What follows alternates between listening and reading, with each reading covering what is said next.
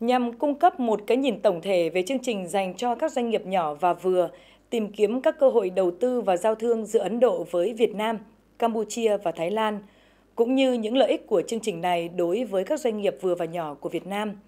Cục Xúc tiến Thương mại Bộ Công Thương Việt Nam đã phối hợp với Liên đoàn Phòng Thương mại và Công nghiệp Ấn Độ FICCI, Phòng Công nghiệp và Thương mại Việt Nam, Phòng Kinh doanh Ấn Độ tại Việt Nam Incham và Hội đồng Kinh doanh ASEAN Ấn Độ AIBC tổ chức hội nghị trực tuyến thách thức hội nhập quốc tế đối với doanh nghiệp nhỏ và vừa Ấn Độ, Mekong.